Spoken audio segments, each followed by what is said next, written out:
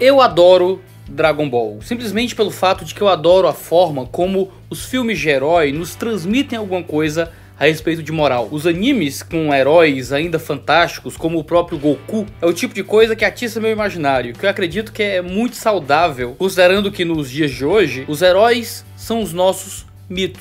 Enquanto os gregos tinham um grande panteão e muitas histórias à sua volta, nós temos filmes que apresentam paradigmas de comportamento a serem louvados e imitados. O Goku, para mim, é o super-homem do Japão.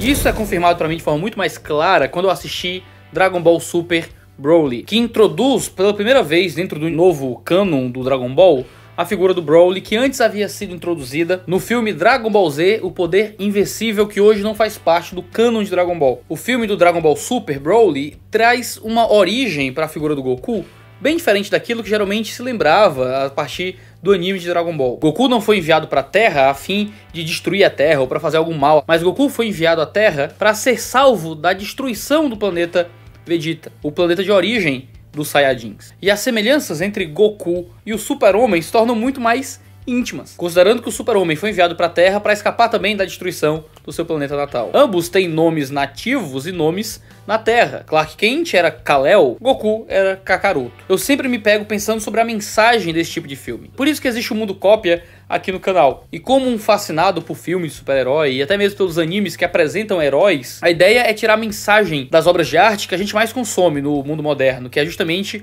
a arte cinematográfica, a arte televisiva. E Dragon Ball Super parece ter uma mensagem muito bela sobre união e sobre se libertar do tipo de criação que você recebeu. Um fator que é muito repetido no filme novo do Dragon Ball é justamente o fato do Broly ser o que é por causa da criação que recebeu. E é interessante que há pessoas em volta dele tentando de alguma forma considerá-lo não como alguém ruim, mas como alguém que se tornou ruim.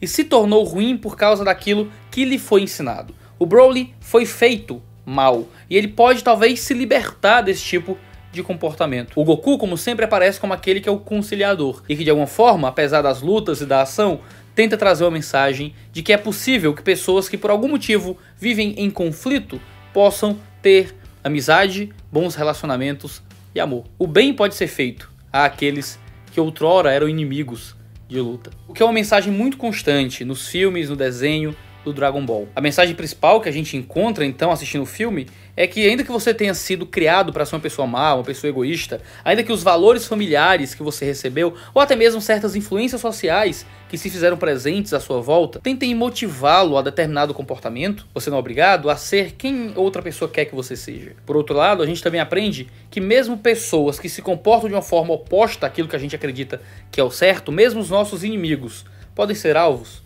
do nosso cuidado. Isso fica muito claro ao fim do filme. Precisamos de bons adversários se a gente quer progredir de alguma forma. As mensagens que são passadas por Dragon Ball Super Broly são muito legais. E na saída do cinema, se você vai levar seu filho, se você vai com algum amigo, é um tempo interessante de meditar sobre como nós podemos ser pessoas melhores, de como nós podemos lidar com os inimigos e como nós podemos nos libertar das coisas erradas que nos ensinam e de traços da nossa personalidade que muitas vezes nos foram impostos e que nós não somos obrigados a seguir com eles. Você vai assistir Dragon Ball Super Broly no cinema? Eu assisti, gostei muito, mas não esquece de tirar sempre uma boa mensagem. É importante que nós consumamos arte para além da arte, que não seja só um momento de entretenimento, mas que a gente possa pensar no filme para além daquilo, mesmo animações, mesmo desenho animado, mesmo anime, mesmo quando tudo está recheado com excelentes cenas de ação, no fim das contas, o que a gente pode levar para além do entretenimento é alguma ilustração de algo que seja bom, belo e justo para nossa vida. Então não deixa de se inscrever aqui no canal, não deixa de assinar as notificações, porque de vez em quando a gente aparece aqui